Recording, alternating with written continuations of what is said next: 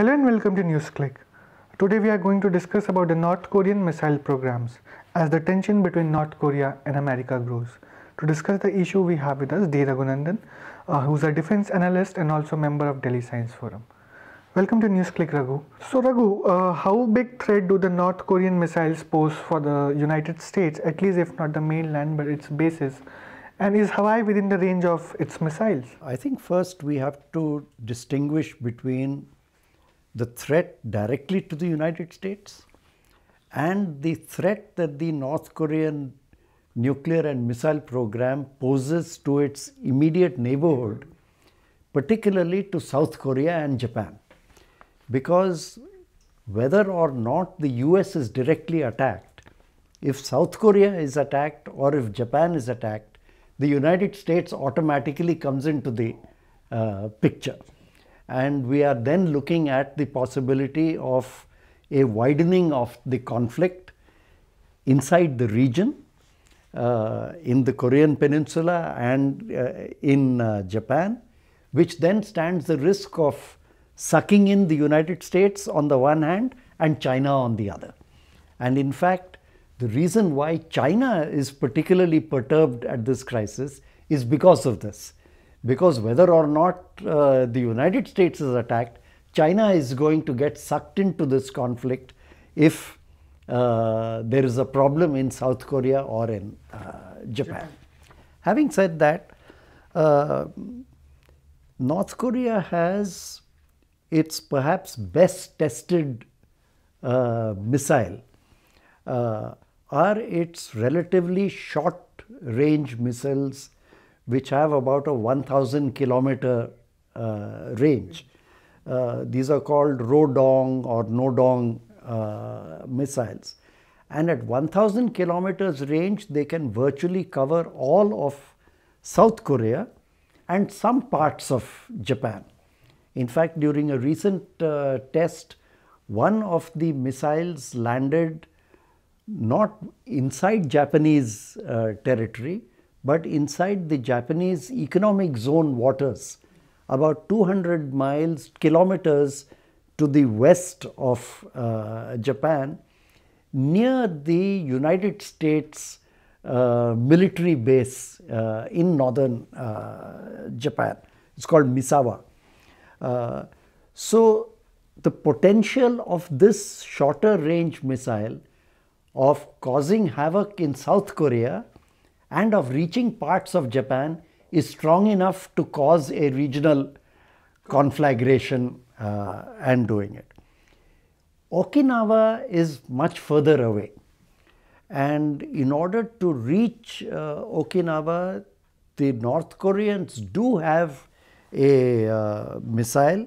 Uh, they have what's called the Hwasong 10 uh, missiles, also often called the Musudan missile. There have been a few tests, but none of these tests have been particularly convincing.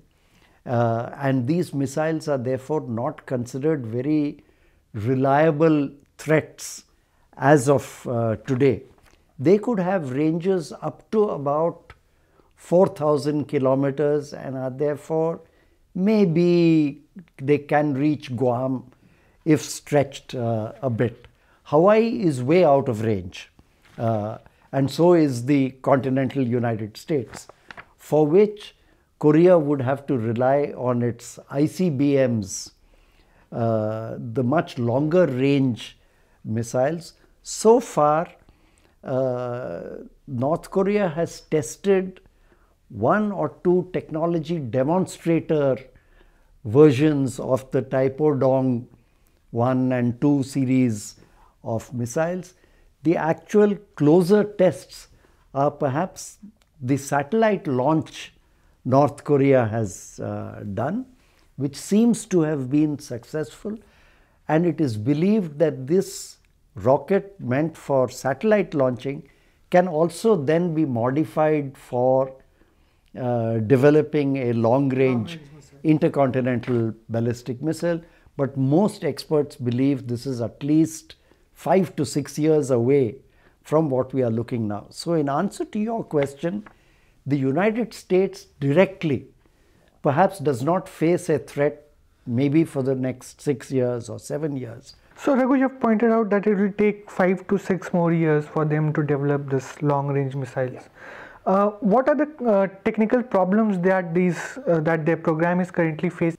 If you look at the intercontinental ballistic missile, as I said, North Korea seems still to be about six or seven years away from possessing the rocket technologies required. You require a multi-stage rocket to reach the necessary altitude above the earth and be able to come back to a distance of about 10 to 11,000 kilometers away from the launch uh, site. If you want an effective missile system, then you also want it to be relatively concealed. If the country you are targeting, let's say the United States, can easily see where it is being launched from, they could attack the site. So, countries which are serious about their missile programs would have silos which are buried deep underground or have mobile launches which you can cart quickly on the back of a truck from one place to uh, another.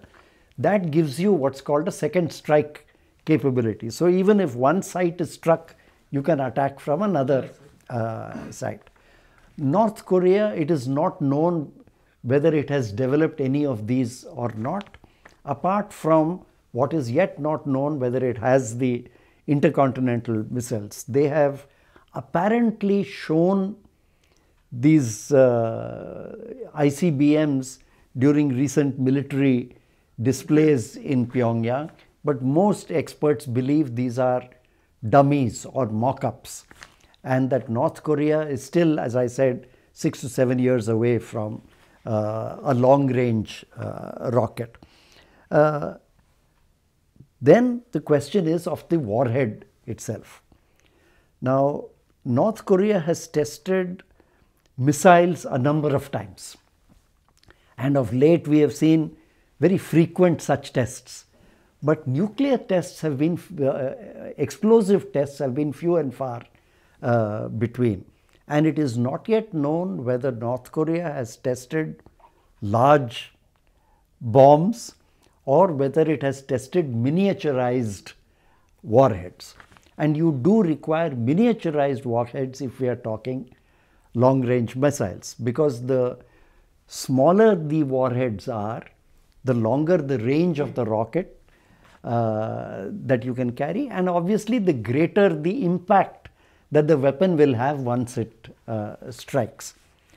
All the weapons tests that North Korea has conducted so far none of them seem to have exceeded about 20 kilotons of yield, which is about one and a half times the size of the Hiroshima bomb.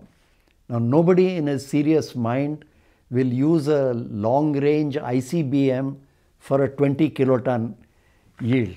Normally, most countries with intercontinental ballistic missiles have yields tens or maybe even hundreds of times greater than this in a megaton uh, type of uh, yield. North Korea is not known to have a nuclear weapon of that uh, yield. Secondly, we don't know at all whether North Korea has miniaturized its warhead sufficiently to make for an effective uh, ICBM. And third, in terms of the delivery system, the warhead will be sitting on top of the rocket which will carry it, then it must go to altitude, then re enter the Earth's atmosphere where friction is huge. It will cause temperature to go to several thousand degrees Celsius. So, you need a shield to protect the spacecraft or in this case warhead as it comes through the atmosphere and it is not known at all whether North Korea has developed the re-entry systems. The designs that they draw is from 1970s. It's a 1970s Soviet design. So what do you have to say about that? And also, if we look at when we talk about the neighboring countries, and also if you look at India, Iran, which are much bigger economies, if we compare to them, so what uh, at what place are we at the present context? The very early development of North Korean missiles were Soviet origin designs, Scud type uh, missiles and variations of the Scuds, which we all know from recent development in the Middle East.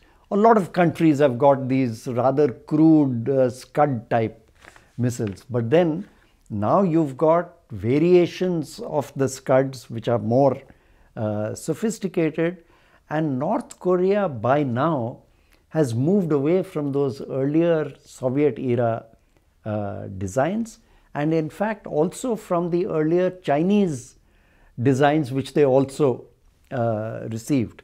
And North Korea has for long used its uh, missile uh, development and production technologies as a means of technology transfer to other countries, as a means to either earn foreign currency or to get components for nuclear weapons uh, technology. It's well known, for example, that North Korea supplied its Rodong uh, short range missiles that we've been talking about to Pakistan in exchange for Pakistani expertise and technology in uranium enrichment and in centrifuge designs, which is how North Korea started its work in uranium enrichment for their weapons production program. This has been confessed to by the former and late Prime Minister Benazir Bhutto, by former Prime Minister Shaukat Aziz, by former President Pervez Musharraf, and of course by A.Q. Khan himself. And uh, these missiles which North Korea gave to uh, uh, Japan were named by Pakistan as the Ghauri missiles. Very similar experience was there when North Korea exported its missiles in fairly large numbers, in the several hundreds to Iran, in exchange perhaps for hard currency deals, which uh, Iran named as Shahab 1 and Shahab 2 uh, missiles then Iran on its own further upgraded uh, these missiles for a longer range of about 1500 or 1600 uh, kilometers, which Iran called the Ghadar uh, uh, missiles. However, I would say that at least over the last 15 years, it's doubtful whether North Korea has any ongoing collaboration with any other country, with China, with Iran, with Pakistan, with anybody regarding actual ongoing collaboration for missile development or missile technology. What of course North Korea does, like most other countries engaged in weapons or missile development do, is to procure materials and components from the international grey market, uh, which is wide open in Western Europe, in Eastern Europe, in Russia, and also in Japan and China, uh, from which components and materials are procured by uh, North Korea. So I would say in terms of the economy, even though the North Korea has a more narrow industrial base in terms of capability than a country like uh, India, is less strong economically than India or Iran. North Korea is prepared to put in a greater proportion of its resources into its weapons and missile program than perhaps a country like India uh, is prepared uh, to do and also is prepared to devote a much larger part of its scientific and technological manpower put them into the missile and nuclear uh, program, whatever its cost may be, even if they are not deployed elsewhere in the North Korean uh, economy. Thank you for watching NewsClick.